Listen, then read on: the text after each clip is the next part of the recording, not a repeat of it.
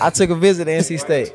My senior year, bro. Y'all was playing against. Uh, I don't know who y'all was playing against, and whoever y'all was playing against, T.J. Graham, the receiver, Going crazy. I, went crazy. I know he did. He went crazy I know he that did. game. Yeah, yeah, You feel me? And the Mhm. receiver coach, he was gassing him up. Like he was like, "Yeah, man, TJ's our guy." And you know me, I'm like, "Hey, coach, I'm a receiver." Like I'm like, "Coach, I want to be your guy too." I want to be your guy too. You know yeah, what I'm nah, I saying? feel Like, I'll just be talking shit about NC State. Like, if your ass went to NC State, bro, you would never hear the end of it. You know what I'm saying? Would, NC State was the only school that offered me in high school, bro. Like they, Man. like they the only Yeah, yeah. D1 school that offered me in high school. And the reason I didn't go there was was TJ Graham. He went off in that game.